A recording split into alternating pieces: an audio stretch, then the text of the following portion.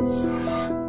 Want to study in Germany? Then Excella is the best option. Admissions with scholarships available. Call 9881 96666. Supreme court తాజాగా కీలక తీర్పు వెలువరించింది అమరావతిలో పేదలకు ఇళ్ళ స్థలాలు కేటాయించేందుకు గ్రీన్ సిగ్నల్ ఇచ్చింది దీనిపైన జగన్ సర్కార్ హర్షం వ్యక్తం చేస్తుంది మరోపక్క చూసుకుంటే ఈ పిటిషన్లో అంటే అమరావతిలో ఆర్ ఫైవ్ జోన్లో పేదలకు ఇళ్ళ స్థలాలు కేటాయించకుండా వారికి వ్యతిరేకంగా అమరావతి రైతుల వెనకుండి నడిపిస్తున్న టీడీపీ అలాగే ఆ పార్టీ అధినేత చంద్రబాబు నాయుడుకు తాజా తీర్పుతో చొక్క చొక్కెదురైందని కూడా రాజకీయ విశ్లేషకులు భావిస్తున్నారు. మరోపక్క అసలు మనం ఒకసారి దీన్ని డీటెయిల్గా చూసుకుంటే అమరావతిలో పేదలకు ఇళ్ళ స్థలాలు ఇవ్వడాన్ని సవాలు చేస్తూ సుప్రీంకోర్టులో కొన్ని పిటిషన్లు అయితే దాఖలయ్యాయి. ఆ పిటిషన్ల విచారణ అయితే ఈరోజు బుధవారం కొనసాగింది. అలాగే జస్టిస్ కేఎం జోసఫ్ అలాగే జస్టిస్ అరవింద్ కుమార్లతో కూడిన ద్విసభ్య ధర్మాసనం ఈ పిటిషన్లపై విచారణ చేపట్టింది. అలాగే ఆర్ఫై జోన్లో పట్టాల పంపిణీపై సుదీర్ఘంగా వీరి మధ్య వాదనలు కూడా జరిగాయి. ఈ క్రమంలో పేదలకు ఇళ్ళ స్థలాలు ఇచ్చే హక్కు అక్కడి ప్రభుత్వానికి ఈ ఉందని చెప్పి ఆ బెంచ్ ఒక స్పష్టమైన తీర్పునివ్వడైతే జరిగింది.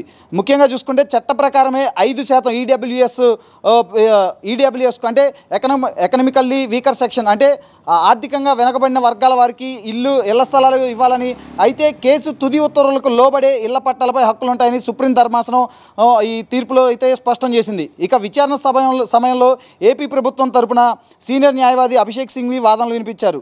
ముఖ్యంగా చూసుకుంటే ముప్పై నాలుగు వేల ఎకరాల్లో తొమ్మిది వందల ఎకరాలు మాత్రమే పేదలకు కేటాయించామని పది మంది రైతులు మాత్రమే ఇక్కడికి వచ్చారని ఆయన స్పష్టంగా వెల్లడించారు. ఇక సిఆర్డీఏ చట్టంలోని section fifty three one D ప్రకారం పేదలకు ఇళ్ళ స్థలాలు ఇచ్చే అధికారం ప్రభుత్వానికి ఉంది అని కూడా ఆయన అందులో మెన్షన్ చేశారు. ఇక ఈ పిటిషన్కు విచారణ అర్హత లేదని కూడా వాదించారు. అలాగే ఆర్ఫై జోన్లో ప పట్టాలు ఇవ్వడాన్ని ఆపడానికి వారికి ఏ ఏ అధికారం లేదు అని చెప్పి కూడా ఈ ధర్మాసనం అయితే పేర్కొంది. ఇక మరోవైపు చూసుకుంటే సిఆర్డీఏ తరపున సీనియర్ న్యాయవాది నిరంజన్ రెడ్డి వాదనలు వినిపించారు. మాస్టర్ ప్లాన్లో ఎలాంటి మార్పులు లేవని చట్ట ప్రకారమే ఐదు శాతం ఈడబ్ల్యూఎస్కు ఇళ్ళ స్థలాలు ఇవ్వాలని ప్రజా ప్రయోజనాల కోసమే ప్రభుత్వం భూసేకరణ జరుగుతుందని కూడా ఆయన స్పష్టం చేశారు. ఏదేమైనా కానీ సుప్రీంకోర్టు ఇచ్చిన తాజా తీర్పు అనేది ఇప్పుడు అమరావతి రైతులను వెనకుండి నడిపిస్తున్న చంద్రబాబుకు ఇది ఒక చెంపపెట్టుగా అని చెప్పి కూడా రాజకీయ విశ్లేషకులు భావిస్తున్నారు.